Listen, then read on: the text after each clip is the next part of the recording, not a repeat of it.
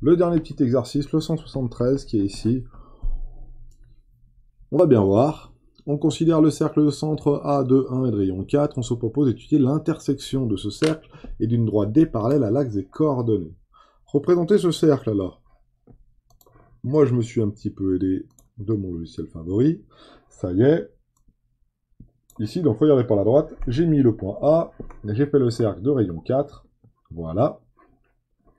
Et la première chose qu'il nous demande, c'est D est une droite parallèle à l'axe des ordonnées. Expliquez pourquoi D est une équation de la forme x égale 0. x égale x0. Alors, x égale x0, on revient ici, voilà. Je l'ai appelé xb ici, mais en fait, c'est pas xb du tout qu'il aurait fallu l'appeler. C'est plutôt x0. Euh, voilà. Est-ce que je peux l'appeler x0 Oui, je pense. Hein. Voilà, x0. Voilà, donc là, j'ai une droite d'équation x égale 7 c'est une droite verticale, donc si c'est une droite verticale, elle a forcément une équation de la forme x égale quelque chose. Hein. Tous les points de la droite, là, que je vais dessiner en rouge, tous les points de la droite rouge ont, une, euh, ont un abscisse qui, sont, qui sont ici, par exemple, égal à 4. C'est donc égal à euh, x égale x0. x égale x0, x égale là, Là, gx égale euh, moins 4, là, gx égale 7, là, gx égale 1. Euh, ça, ça veut dire que tous les points rouges, là, c'est des points qui ont comme abscisse 1, etc.. Donc la première question est assez évidente. Voilà, on a fait un petit dessin. Voilà, donc euh, D, pour sa première partie, hein, mais D est parallèle au Y, à l'axe des abscisses, à l'axe des ordonnées.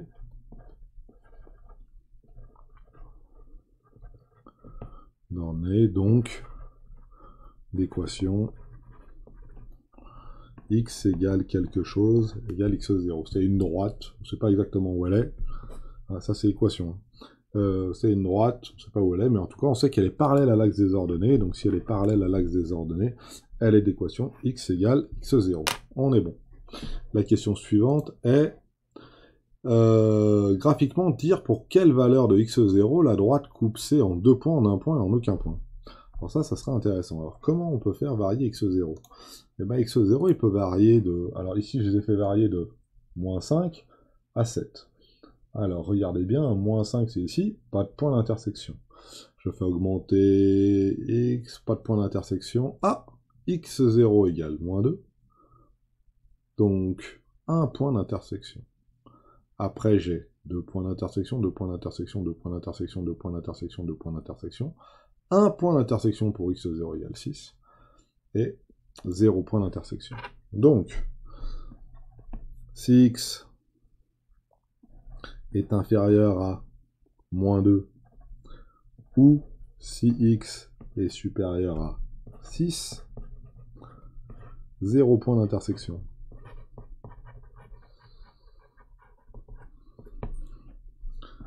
Si x est compris entre moins 2 et 6,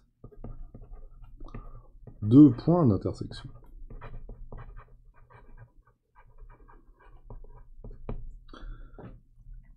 Si x égale moins 2 ou x égale 6, alors c'est x0, x0, x0, x0, x0, alors un seul point d'intersection. Super Je ne l'ai pas écrit. On y va, on recommence. Si x0 est inférieur à moins 2, alors, ou si x0 est supérieur à 6, alors 0 point d'intersection. Si x0 est compris entre moins 2 et 6, moins 2, x0 et 6, deux points d'intersection. Et si x0 est égal à moins 2 ou x0 est égal à 6, un seul point d'intersection. On est bon. Donc on va essayer de garder ça en tête. Ça, c'était, je sais plus lequel. Voilà. Maintenant, ils vont nous demander d'écrire l'équation du cercle. À tous les coups, je le sens arriver. Écrire l'équation du cercle et retrouver les résultats ci-dessus. Alors, c'est parti. Donc ça, c'était la première partie. Comment ils vont appeler ça? 1, 2, ABC. Voilà. ça, c'est 2 ABC. Quoi. Ça, c'est le grand 2, ça.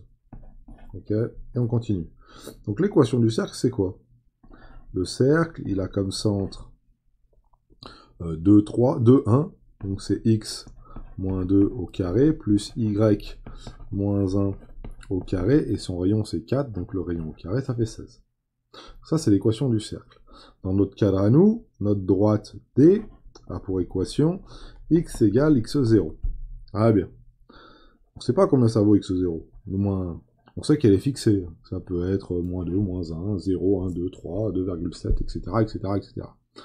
Et les points d'intersection, c'est quand c'est trouver des points qui, euh, comment dirais-je, qui respectent, qui valident, qui euh, vérifient, dont les coordonnées vérifient ces deux équations-là.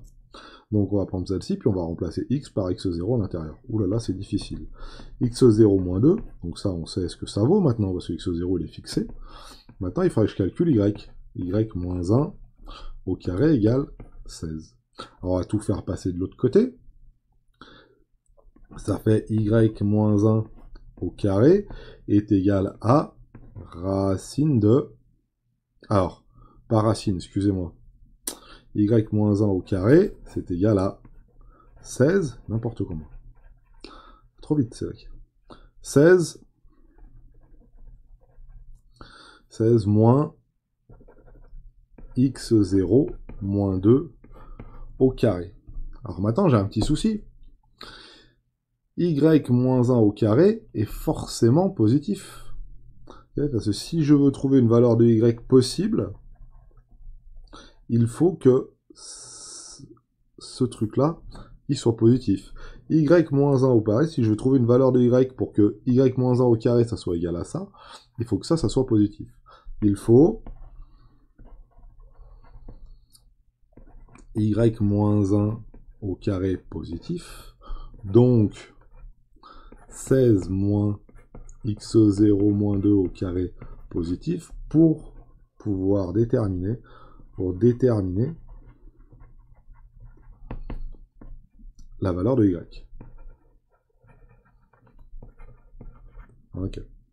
Bon, bah ça, comment on fait pour pouvoir résoudre ça? Quelle valeur de x0 marche bien pour que ça, ça soit positif?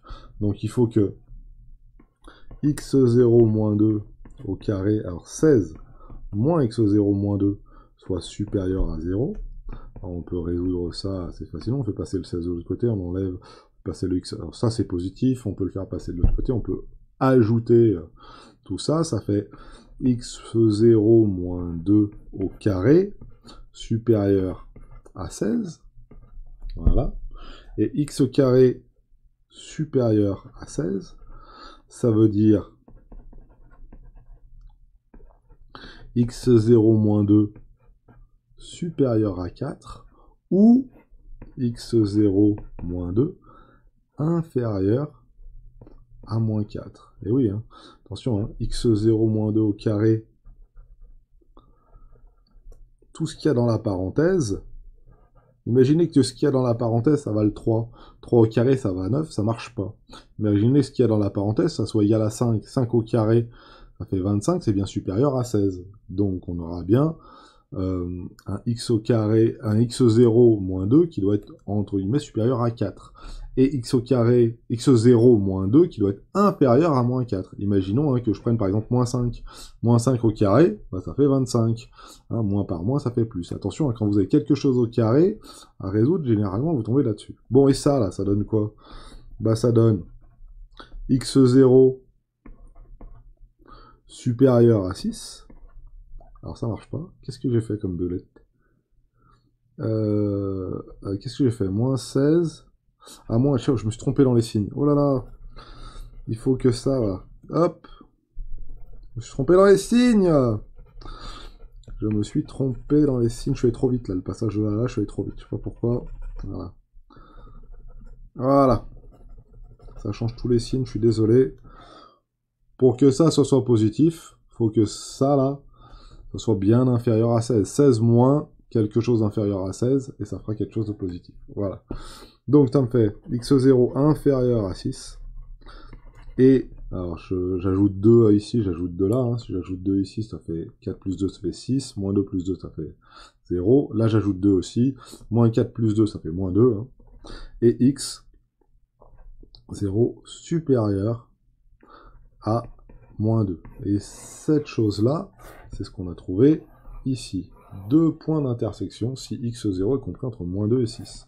x0 supérieur à moins 2, x0 inférieur à 6. On est bon. Ok, on est bon, à part le fait qu'on se soit un petit peu euh, mangé dans les signes ici. Euh, donc voilà, on a fait celui-ci. Maintenant, si c'est pas le cas, bah, on se retrouve avec 0 point d'intersection, parce qu'on ne peut pas résoudre l'équation. Et si c'est égal à 0, et si c'est égal à 6 et à moins 2, qu'est-ce qui se passe? Bah, Si je prends x0 égale à moins 2, moins 2 moins 2, ça fait moins 4, moins 4 au carré, ça fait 16, 16 moins 16, ça fait 0, et si 16 moins 16, ça fait 0, y, moins 1 au carré qui vaut 0, ça vaut y moins 1 qui vaut euh, 0, et donc y qui vaut 1. Et euh, pareil pour x0 qui vaut 6, euh, 6 moins 2 ça fait 4, 4 ça fait 4 euh, au carré ça fait 16, 16 moins 16 ça fait 0, y moins 1 au carré qui vaut 0, ça nous donne donc ça nous donne donc qu'une seule solution. Donc lorsque x0 égale 6 ou moins 2, ce truc-là s'annule et ça nous donne qu'un seul point d'intersection. Si on a un x0 inférieur à 6 ou un x0 supérieur à moins 2, et eh ben on se retrouve avec une valeur qui est ici, qui est positive, et donc on peut résoudre ce truc-là. Et si on se retrouve avec une valeur ici euh, positive ou euh, qui n'est pas dans cet intervalle-là, hein, moins 2, 6, et ben on se trouve avec un truc ici qui va être donc négatif, et ça, c'est pas possible à résoudre, et on peut pas trouver le y. Et donc, on peut pas trouver de point d'intersection. Voilà comment on valide. On va nous demander, à mon avis, de faire exactement la même chose, mais avec les euh, l'axe des abscisses, et c'est exactement le même raisonnement. Pareil, euh, elle s'appelle comment? Alors, dans ce cas-là, c'est D qui est parallèle à l'axe des abscisses, à l'axe des abscisses. Voilà. Et euh, dans ces cas-là, vu qu'elle est parallèle à l'axe des abscisses, euh, on va avoir quelque chose de la forme y est égal à y0. Et on va regarder graphiquement ce que ça donne. Donc si je prends mon GeoGebra qui est ici, que je le mets en plein écran, et que cette fois-ci je prends un point, alors le point B on va pas le faire afficher, euh, on va enlever cette droite là et on va faire on va mettre un point sur l'axe des ordonnées cette fois-ci. Euh, on va lui demander de ne pas afficher son nom à lui. Ah, attendez. Euh, ça, le point E, il a pour coordonnées. Le point E, il a pour coordonnées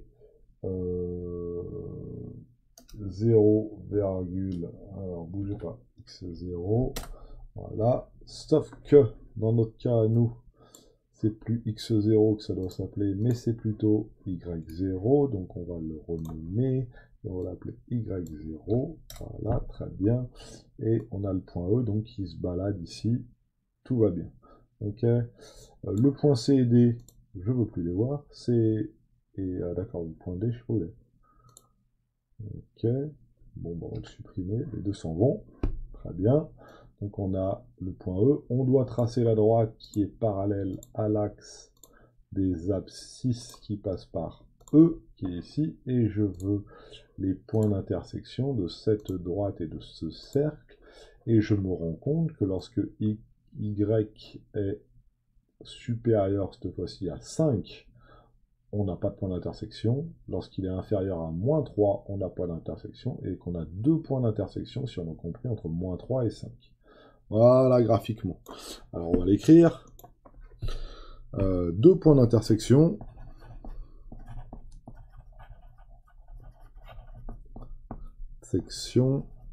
Entre C et D si Y0 cette fois-ci y0, qui est compris entre moins 3 et 5. Voilà, ça c'est graphiquement. Maintenant on va écrire on a l'équation du cercle, on la connaît. Hein. Alors, je vais la réécrire sans me tromper, ça va faire x moins 2 au carré et y moins 1 au carré. x moins 2 au carré plus y moins 1 au carré. Et tout ça, c'est un rayon de 4, donc ça fait donc 16 ici, un rayon au carré, ça fait 16. Dans notre cas, y qui vaut y0. Donc ma droite D, il a comme équation y égale y0, et je dois trouver les points qui doivent satisfaire ces deux équations, les points dont les coordonnées satisfassent ces deux équations. Donc on va écrire que on va obtenir x moins 2 au carré plus y0 moins 1 au carré égale 16.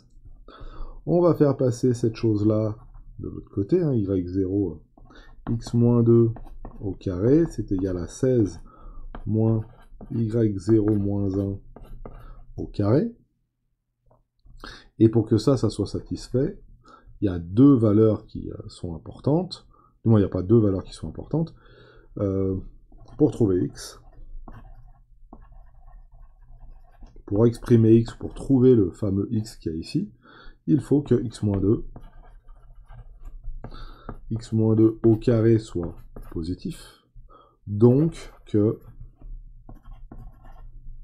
16 moins y0 moins 1 au carré soit positif. Et donc ça, ça veut dire que y0 moins 1 au carré, alors là je vais le faire sans me tromper, supérieur à moins 16, je fais passer le 16 de l'autre côté, c'est moins 16. J'ai un moins, j'ai un moins, je vais multiplier par moins 1 à gauche et à droite pour les enlever. Ça va faire y0 moins 1 au carré. Ça, j'ai multiplié par moins 1, j'ai multiplié par moins 1. Si je multiplie par moins 1, je change le sens de l'inégalité. Et y0 moins 1 au carré inférieur ou égal à 16. Là, il y a deux solutions. y0 moins 1 est inférieur à 4. Ou y0 moins 1 est supérieur moins 4. Voilà. Euh, prenons un exemple. Si je prends tout ça qui vaut tout ça qui vaut 0, 0 au carré, c'est bien inférieur à 16. Donc ça, c'est bien inférieur à 4. Si je prends ça qui vaut 3, y0 moins 1 qui vaut 3. 3 au carré, ça vaut 9, c'est bien inférieur à 16. y0 moins 1, j'ai dit que ça valait 3, c'est bien inférieur à 4. Maintenant, prenons euh, par exemple y0 qui vaut moins 2. Moins 2 au carré, ça vaut 4. 4 c'est bien inférieur à 16, donc là on s'est pas trop trompé à l'intérieur de ça. Donc ça, ce passage-là est un peu délicat entre guillemets. Regardons la suite. Maintenant, bah, y0-1 inférieur ou égal à 4, ça fait y0 inférieur ou égal à 4 plus 1, ce qui fait 5. Et y0 supérieur à moins 4 plus 1 qui fait moins 3. Et on se retrouve bien avec un y qui doit être compris entre en y0 qui doit être compris entre moins 3 et 5. Voilà, pour pouvoir trouver euh, pour pour euh, pour que pour qu'il y ait pour qu'il y ait deux solutions donc. Alors euh, comment on pourrait trouver x pour que x existe pour que pour trouver x pour pouvoir trouver x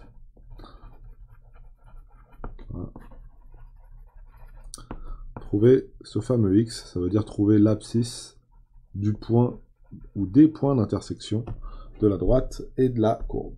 Dans notre cas, nous, hein, on a bien retrouvé nos deux points d'intersection compris entre moins 3 et 5, voilà, en faisant ce petit calcul. Voilà, est-ce qu'il y a d'autres questions à l'intérieur? Non, retrouver les résultats en utilisant l'équation de cercle, donc on a fait exactement la même chose et on est retombé sur moins 3 et 5. Hein, pour les valeurs de x, y0 qui valent moins 3 et 5, hein, c'est pareil, il faut rajouter là-dedans. Hein. Imaginons je mets moins 3 là-dedans, moins 3, moins 1, ça fait moins 4, moins 4 au carré, là, moins 4 au carré, moins 4 au carré, ça fait 16, 16 moins 16, ça fait 0, ça veut dire que x moins 2 au carré, ça fait 0, donc ça veut dire que x moins 2 égale 0, donc que x égale 2. Et que si j'ai un x égale 2, y0, j'ai dit que c'était moins 3, on peut vérifier, hein. pour x égale 2, voilà, oh là, oh là là, clic voilà, pour y0 égale, euh, j'ai dit moins 3, excusez-moi, voilà, x égale 2, on a bien le point D là, qui est le point d'intersection du cercle et de la droite, maintenant ils sont tangents, qui est pour x égale 2 ici. Voilà pour ces exercices. C'était le deuxième problème était pas très difficile, hein, mais, mais mais voilà, il, fallait bien voir qu'il y avait une petite inéquation qui traînait dans le coin qu'il fallait résoudre assez facilement. Euh, et c'est ce qui clôt le sujet sur les, euh, la géométrie repérée et les problèmes. Il y en a d'autres dans le livre si vous voulez les faire. Mais euh, écrivez-moi si vous voulez les corrections et je les ferai. Bonne journée